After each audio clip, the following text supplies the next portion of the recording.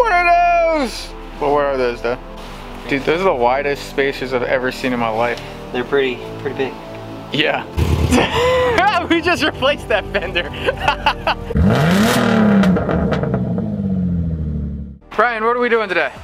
Uh, well, when I bought the WRX, it came with a box of random goodies. This WRX? Yeah. Cool. What type of goodies? One of those goodies was some spacers, which are huge. Holy moly. I didn't think I would ever use them for anything. Yeah, we don't like spacers normally. this is crazy. And That- they, they are two inch spacers. It's a full two inches. Yep. That's absolute insanity. And there's no way these will fit on this WRX. I don't even know why the guy had them. I think he had stock wheels, so Oh. maybe he was trying to poke those out a little bit. but Oh, that's a terrible idea. Yeah, so, so but- what are what are we doing? I figured I'll just throw them on the uh, Monster Subie and see what it looks like. Monster Shuvi. Yeah.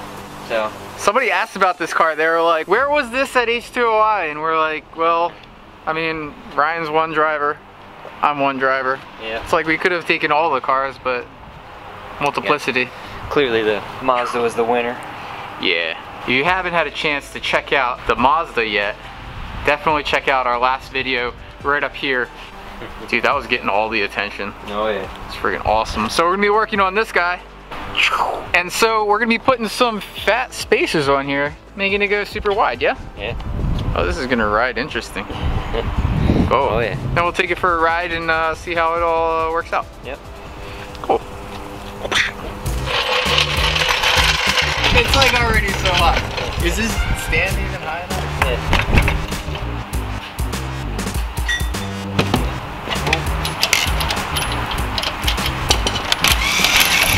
Snap on gun is stronger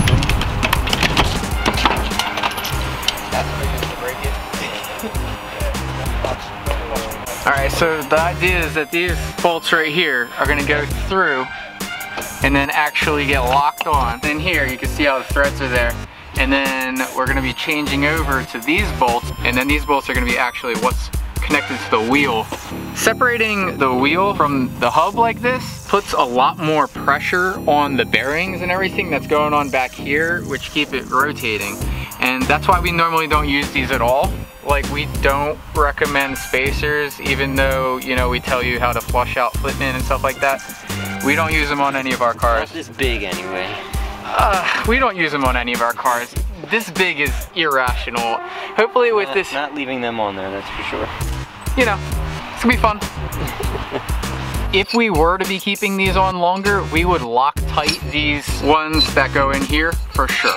You just wanna make sure that this is not gonna come loose because the worst thing in the world that could happen is your wheel falls off when you're going down the highway. That's pretty bad.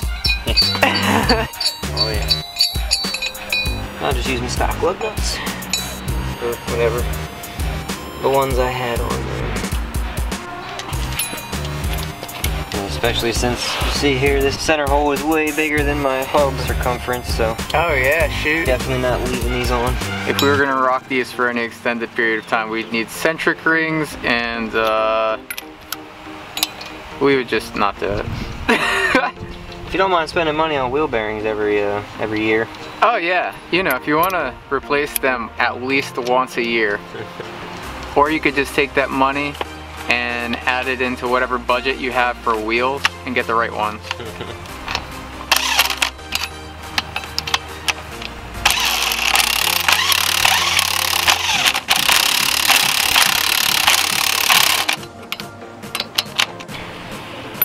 so that's that. Now.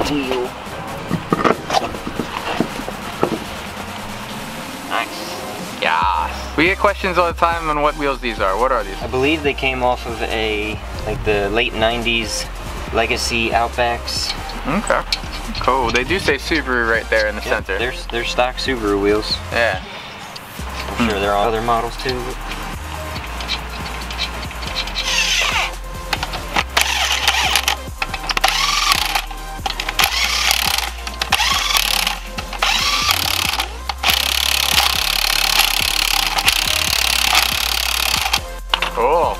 Ryan for NASCAR.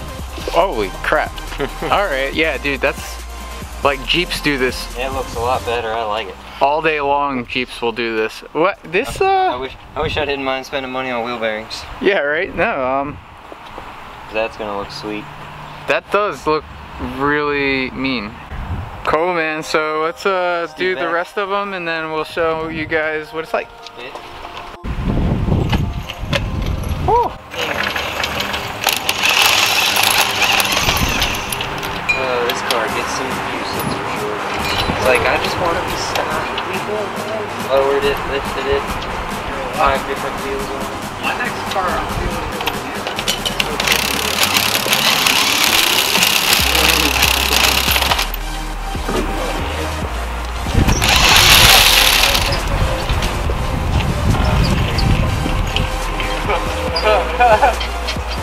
All right, One side down. one side down, and just gonna ju- show you comparison. Looks way more monstrous. Yeah, man. Just want to show how much is poking out. It's hard to see when you're. Whoa. Cool. Look at this clearance. That's what we're talking about. Oh yeah. That looks aggressive, man. All right, so, and what it looks like on the other side, kind of tucked. Can't even see the wheels. Right? Tucked versus poking in the front. That makes a huge difference. Super huge. I'm just like showing, I can't even, it's not even poking. like a monster truck, man. Dude, Monster Subie became Monster Subie. Ryan's already taking pictures. Looking awesome. Damn right. Dude, man, that does look aggressive. That looks mean, monster. Let's do the other side. Yeah, let's knock out the other side and uh, whew, see how this thing rides though. That'll be interesting.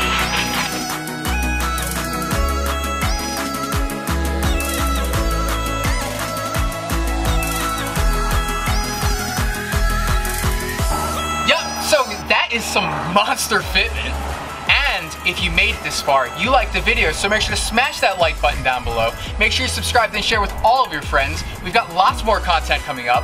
And if you've got any ideas, let us know down in the comments below. We answer all of them, and we even do diagnoses and all sorts of things. So hit us up down below. Stay awesome. awesome work, man. Woo! Let's go for a drive. Yeah. Cool.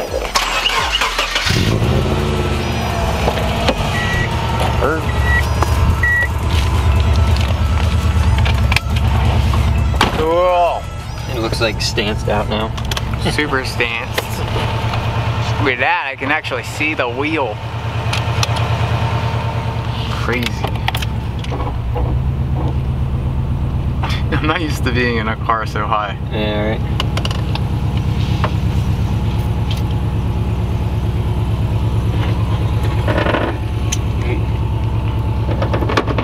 I Ooh. guess we do rub. Uh, yeah, that sounded like it caught. What is it rubbing on? Oh no! Oh no! Dude, there's no way you can go any further than that.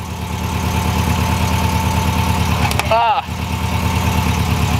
I mean, ah, yeah, it's pulling the whole thing in. Alright, well, that's the answer. Oh, that was fun. Yep, that was the answer. We made it far. Um.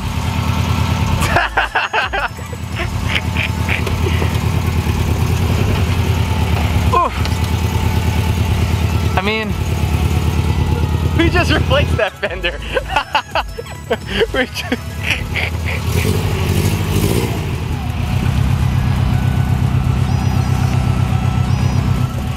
If we really wanted to, we could totally set it up like this for like while we're in the parking lot at an event. And then take it all apart. So, if you want to go lifted with big tires that are spaced out, you need to cut your fenders. Yep, yep.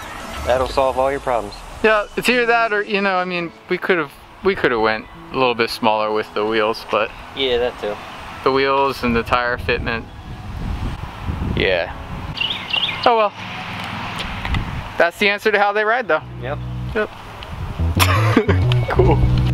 Thanks for watching this episode of Mils Garage. Make sure to like and comment below and share the video. And we'll see you next time. All the clouds in the world and we've got the sun.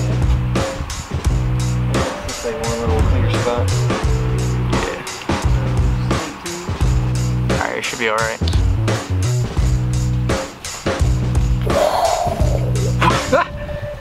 Yo. It looks ridiculous already. Oh yeah, man. Just Standing back looking at it.